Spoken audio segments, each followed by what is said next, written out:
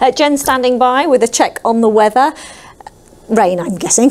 yes, Riz. It's the autumn equinox today and it is already starting to feel like it. We've had some rain already this evening. Thank you to Sophie from Sundig for sending this weather watcher picture in. And the rain is going to be a feature really on and off throughout much of this week. So for the rest of this evening, expect some further spells of quite heavy rain and there will be some rather gusty winds through the night as well.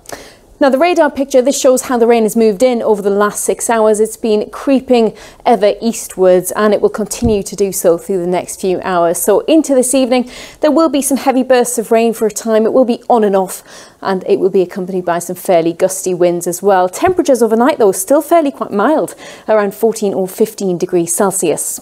Now, as we're expecting quite a lot of rain, the Met Office has a yellow warning in force for that rain tomorrow. We could have 15 to 30 millimetres possible. That's over an inch of rain. Some areas could get double that. And this is how rush hour is looking tomorrow morning. Pretty filthy conditions, to be honest, where you see the greens on the map. That indicates some really heavy downpours.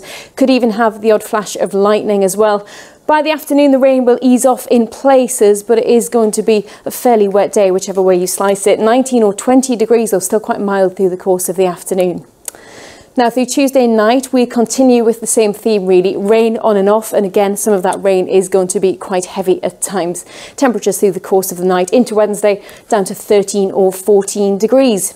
Now, Wednesday, it looks like one of the better days of the week. This weather front is going to be gradually clearing away, and behind it, there will be some drier and brighter weather. Some showers first thing in the morning on Wednesday, eventually giving away to something a little bit drier and still feeling fairly windy as well. Top temperature on Wednesday of around 20 Celsius, but whichever way you look at it this week, it's going to be fairly wet.